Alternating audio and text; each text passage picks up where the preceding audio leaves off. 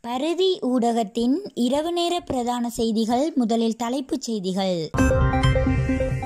பதிமூன்றாம் திருத்தச் சட்டம் இலங்கையை பிளவுபடுத்தும் மகாநாயக்க தேரர்கள் போர்க்கொடி. நீதிமன்றத்தை அவமதிக்கும் சபாநாயகரின் தீர்மானம் சஜித் குற்றச்சாட்டு. வறட்சியை தீர்க்க கடவுளுடன் பேசும் பிக்கு வெகுவாக பகிரப்படும் உரையாடல். தமிழர் பகுதியில் நூற்றி ஐம்பது பேரிடம் சுமார் இரண்டு கோடி ரூபாய் மோசடி போலி முகவர் கைது. வரலாறுகளை சரிவர விளங்கிக் கொள்ளாத சாணக்கியன் சாடுகிறார் டக்ளஸ். முப்பது வருட யுத்தத்திற்கு இதுவே காரணம் சபையில் சீற்றமடைந்த சாணக்கியன். ஜாலில் வாகனத்தை முந்திச் செல்ல முற்பட்டபோது ஏற்பட்ட விபரீதம்.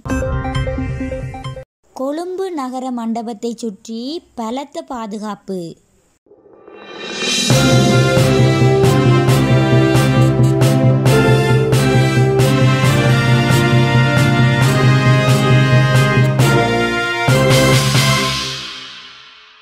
இனி தொடர்வன விரிவான செய்திகள். அரசியலமைப்பின் பதிமூன்றாவது திருத்தச் சட்டம் நடைமுறைப்படுத்தப்படக்கூடாதென மகாநாயக்க தேரர்கள் தெரிவித்துள்ளனர்.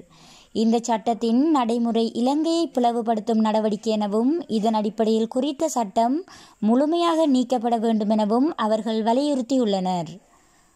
அரசியலமைப்பின் பதிமூன்றாவது திருத்தச் சட்டத்தை நடைமுறைப்படுத்த அதிபர் ரணில் விக்ரமசிங்க முன்னெடுக்கும் நடவடிக்கைகளில் மகாநாயக்க தேரர்கள் தலையிட வேண்டுமென அண்மையில் நாடாளுமன்ற உறுப்பினர் அத்துரலிய ரத்ன தேரர் தெரிவித்திருந்தார். இந்த நிலையில் கடந்த ஆயிரத்தி தொள்ளாயிரத்தி எண்பத்தி ஏழாம் ஆண்டு இந்த சட்டம் அறிமுகப்படுத்தப்பட்ட போது அதனை எதிர்த்த தரப்பினர் தற்போது அமைதி காப்பதாக ஓமாரா ஹஸ்ஸப்ப தேரர் குற்றஞ்சாட்டியுள்ளார் இதன்படி மக்கள் விடுதலை முன்னணி மற்றும் ஸ்ரீலங்கா சுதந்திர கட்சி ஆகியன கடந்த காலங்களில் குறித்த சட்டத்தை எதிர்த்ததாகவும் தற்போது அதற்கு ஆதரவு வழங்குவதாகவும் அவர் சுட்டிக்காட்டியுள்ளார்.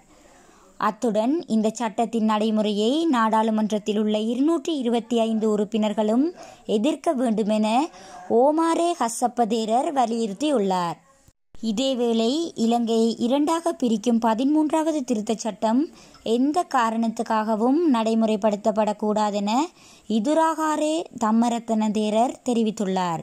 இந்த சட்டத்தை நடைமுறைப்படுத்த அதிபர் முன்னெடுக்கும் நடவடிக்கைகளுக்கு அனைவரும் தமது எதிர்ப்புகளை வெளியிட வேண்டுமெனவும் அவர் கோரியுள்ளார். நாடாளுமன்றத்தில் நிறைவேற்றப்பட்ட உள்நாட்டு கடன் மறுசீரமைப்பை நீதிமன்றில் சவாலுக்குட்படுத்த முடியாது என்ற சபாநாயகரின் தீர்ப்பின் மூலம் நாடாளுமன்றத்தின் தீர்ப்பே நீதிமன்றத்தின் தீர்ப்பாக அமைய வேண்டும் என்ற தீர்மானத்துக்கு வந்திருக்கிறது. இது மிகவும் பயங்கரமான நிலைமையாகும் என எதிர்க்கட்சி தலைவர் சஜித் பிரேமதாச தெரிவித்திருந்தார். உள்நாட்டு கடன் மறுசீரமைப்பு தொடர்பில் சபாநாயகரின் தீர்மானம் குறித்து நாடாளுமன்றத்தில் வெள்ளிக்கிழமை இடம்பெற்ற சர்ச்சையில் கருத்து தெரிவிக்கையிலேயே அவர் இவ்வாறு கூறினார். அவர் அங்கு தொடர்ந்து பேசுகையில் உள்நாட்டு கடன் மறுசீரமைப்பை நீதிமன்றில் சவாலுக்குட்படுத்த முடியாது என்ற சபாநாயகரின் தீர்ப்பின் மூலம் நாடாளுமன்றத்தின் தீர்ப்பே நீதிமன்றத்தின் தீர்ப்பாக அமைய வேண்டும் என்ற தீர்மானம் உறுதிப்படுத்தப்பட்டுள்ளது. அது பயங்கரமான நிலையாகும். ஏனென்றால் அரசியலமைப்பின்படி நாட்டின் பிரதான தூண்களான நிறைவேற்றுத்துறை நாடாளுமன்றம் மற்றும் நீதிமன்றம் ஆகியன சுயாதீனமான தூண்களாகும். இதில் ஒன்றையொன்று அதிகாரம் செய்ய இயலாது என்று சஜித் வலியுறுத்தினார். ஆனால் சபாநாயகரின் தீர்மானத்தின் மூலம் எமது நாட்டு சபாநாயகர் ஜனாதிபதியின் முகவராக இருந்து நாடாளுமன்ற தீர்மானத்தை நீதிமன்றத்துக்கு பாதிப்பாக தீர்ப்பு வழங்கி இருப்பது நாட்டுக்கும் சர்வதேசத்துக்கும் இதிலிருந்து தெளிவாகிறது. அதனால் சபாநாயகர் சபாநாயகர் பதவியை சீர்குலைக்கும் வகையில் செயற்படக்கூடாது. எனவே நீதிமன்றத்தை அடக்கும் வகையில் வழங்கிய தீர்ப்பை சபாநாயகர் மீள பெற்றுக்கொள்ளுமாறு கேட்டுக்கொள்கிறோம் என்று வலியுறுத்தி இருந்தார் பாதுக்கே அஜித்தவன்ச என்னும் பௌத்த பிக்கு தான் கடவுளுடன் பேசுவதாக தெரிவித்துள்ளார்.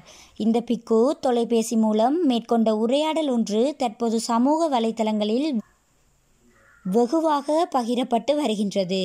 நாட்டில் தற்போது ஏற்பட்டுள்ள வறட்சி நிலைமைக்கு தீர்வு காணும் நோக்கில் கடவுளுடன் பேச்சுவார்த்தையை நடத்தி வருவதாக அவர் குறிப்பிட்டுள்ளார்.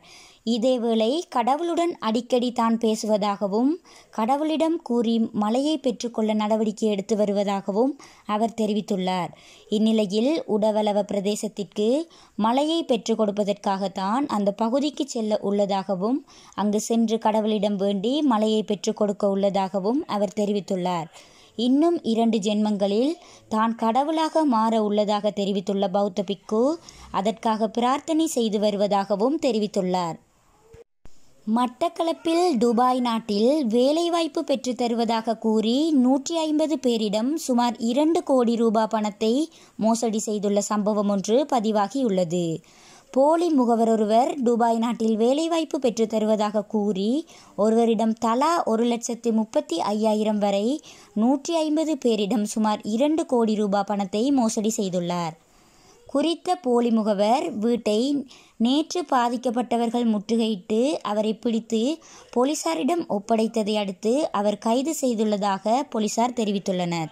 இதனை அடுத்து போலி முகவரிடம் பணம் கொடுத்த அறுபதிற்கும் மேற்பட்டோர் குற்ற விசாரணை பிரிவு காரியாலயத்தின் முன் ஒன்று கூடி காத்திருந்தபோது அங்கு முகவர் வராததை அடுத்து ஒரு குழுவினர் முகவரின் நாவட்குடா வீட்டை முற்றுகையிட்டு அவரை பிடித்து போலீசாரிடம் ஒப்படைத்ததை அடுத்து அவரை போலீசார் கைது செய்துள்ளனர்.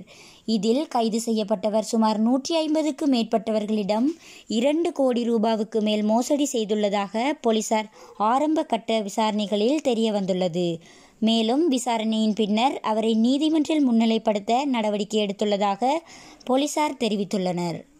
நான் தமிழ் மக்களின் பிரச்சினைகளை அறிந்து அரசியலுக்கு வந்தேன். ஆனால் சாணக்கியன் போன்ற சில தமிழ் தேசிய கூட்டமைப்பில் உள்ளவர்களுக்கு இது பொருந்தாது என ஈழ மக்கள் ஜனநாயக கட்சியின் செயலாளர் நாயகமும் அமைச்சருமான டக்ளஸ் தேவானந்தா தெரிவித்துள்ளார்.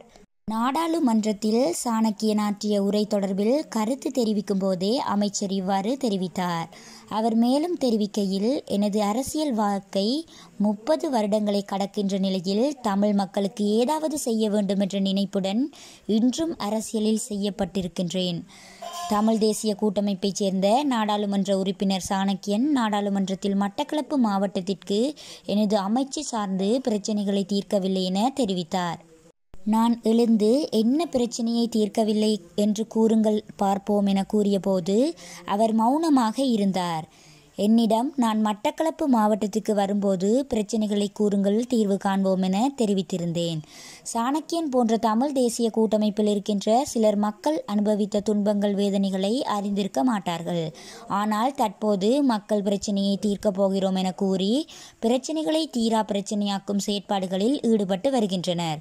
அவர் நாடாளுமன்றத்தில் மட்டக்களப்பில் தற்போது அரசியல் கட்சி அலுவலகம் அமைத்து செயற்படுவதாக கூறியிருந்தார். அவருக்கு சில வேளை தெரியாமல் இருந்திருக்கலாம். தொண்ணூறுக்கு பிற்பட்ட காலங்களில் மட்டக்களப்பில் எமது அலுவலகம் திறப்பு செய்யப்பட நிலையில் ஒன்பது நாடாளுமன்ற உறுப்பினர்கள் நாடாளுமன்றத்தில் அங்கம் வகித்தபோது மட்டக்களப்பு மாவட்டத்திற்கும் ஒரு நாடாளுமன்ற உறுப்பினர் இருந்தார். தமிழ் மக்களின் வரலாறுகளை சரிவர விளங்கிக் கொள்ளாத சாணக்கியன் போன்ற சிலர் தமிழ் மக்களின் பிரச்சனைகளை தீர்க்கப் போகிறோம் என கூறி பிரச்சனைகளை தீரா பிரச்சனையாக்க கூடாது என அவர் மேலும் தெரிவித்தார்.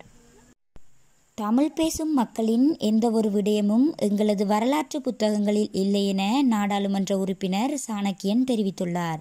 நாடாளுமன்றத்தில் இன்றைய தினம் உரையாற்றும் போதே அவர் மேற்கண்டவாறு குறிப்பிட்டார். பண்டா செல்வா ஒப்பந்தத்தில் என்ன இருந்தது? ஏன் அந்த ஒப்பந்தம் கிழித்தெறியப்பட்டது? ஏன் டட்லி செல்வா ஒப்பந்தத்தை பற்றி வரலாற்று புத்தகங்களில் உள்வாங்க முடியாதுள்ளது? இந்த விடயங்களை நாங்கள் அந்த காலங்களில் இருந் தீர்த்திருந்தாலே முப்பது வருட யுத்தத்திற்கு அவசியமே இருந்திருக்காது எனவும் சாணக்கியன் தெரிவித்துள்ளார். இலங்கையில் பாடசாலை மாணவர்களின் வரலாற்று புத்தகத்தை நாங்கள் பார்த்தால் கூட அதில் ஒரு தரப்பினருடைய வரலாறு மாத்திரம்தான் எழுதப்பட்டிருக்கிறது என்றும் அவர் சுட்டிக்காட்டினார். ஜால் பிரதான வீதி மடத்தடிப்பு பகுதியில் இன்று மதியம் ஏற்பட்ட விபத்தில் மோட்டார் சைக்கிளில் சென்ற ஒருவர் படுகாயம் அடைந்துள்ளார் வாகனம் ஒன்றை முந்திக் கொண்டு செல்ல முற்பட்ட போதே இந்த விபத்து ஏற்பட்டுள்ளதாக தெரிய வருகின்றது. இந்நிலையில் விபத்தில் படுகாயமடைந்தவர் ஜால் போதனா வைத்தியசாலைக்கு கொண்டு செல்லப்பட்டதாகவும் கூறப்படுகின்றது. கொழும்பு நகர மண்டபத்தை சுற்றி பாதுகாப்பை பலப்படுத்த நடவடிக்கை எடுக்கப்பட்டுள்ளதாக தெரிவிக்கப்பட்டுள்ளது.